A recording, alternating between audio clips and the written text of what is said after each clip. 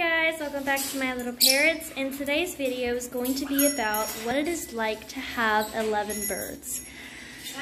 As you know, some birds may not get along, so I like to let my larger birds out together and my smaller birds out together. Right now my smaller birds are out, which include Tinkerbell, Ice Cream, Sky, and as you can see, Ollie's out. So if you're wondering why my one of my larger birds is out, it's because Ollie is more gentle than my other larger birds. He's not as aggressive. So I'm able to let him out with my smaller birds. Like Angel, Mango, and Icy, and Peeper. And later, I'll be putting these guys up and letting Petey, Raspberry, and Cherry out with Ollie. So that's how I keep them from, that's how I keep any accidents from happening. Come here, Ollie. There you go. You want to get on? No? He's like, I want the camera. That's what I want. That's, that's, Ollie's like, that's my main goal of getting the camera. Like, come here. There we go. Where are you going? As you can see, I also provide much space for them so they can be as separated as possible because sometimes even my smaller birds don't get along. And most of my birds do not get along. So Tinkerbell is bullied mostly, I think, out of all the birds.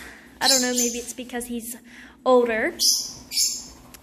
So I have to mostly keep them separated from Peeper and Icy, Mango, and Angel because those four tend to want to bully him the most. But he doesn't really fight as much with Ice Cream, so I'm thinking they might get along later on. I don't know. And like I said, later on I'll let these guys out, and sometimes Petey and Raspberry don't get along. And Cherry is also bullied by the birds. Um, like I said, I have to keep my birds separated.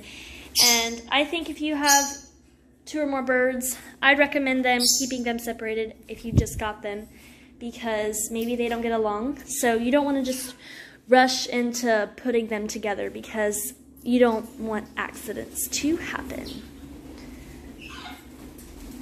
There you go. There we go. Good job. Now I'm going to be moving on to, you want to make sure you have plenty of space and the right size cages for each of your birds. So as you can see, um, this is a perfect size cage for Sky and Angel. This is a perfect size cage for Tinkerbell. This is a perfect size cage for Ice Cream. And that is a perfect size cage for Raspberry. So you want to make sure that you have the right size cages, plenty of toys. And if you run out of toys, you want to at least make sure they have three or more toys because if not, they're either going to start screaming or they're just going to get grumpy. Because birds get bored very easily and you do not want that to happen. Another thing, how much do birds cost themselves? Ollie was a very expensive bird. Ice cream was also very expensive. Um, so is Tinkerbell and so is Mango, and each bird has a different price. So, you know, if it's your choice of getting a bird, you want to think about the cost, you want to think about the space, you want to think about how many birds you want to get. If you're a first-time bird owner, I would recommend just getting a smaller size bird. Make sure just one. Just get used to owning a parrot because if you get more than one bird, it's just harder. So be prepared because the more birds you have, the harder it is. So you want to make sure that you have plenty of space and plenty of time and you're not gone, you know, sorry, and you're not gone, you know, too long because they need a lot of attention, they need feeding time, and it doesn't really matter what time of day you feed your parrot. You could feed your parrot at night.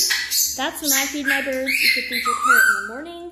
You could feed them during the day. It doesn't really matter when you feed them. You just have to find that time at any time of the day to give them, you know, cuddling time or, you know, just talking time, just to get them used to you if you just got your parrot. But if you already have a parrot, I bet you're doing a great job. Thank you guys so much for watching this video. I hope you enjoyed it, and I hope you learned something valuable today. Thank you guys so much for watching My Little Parrots. I will see you guys next time.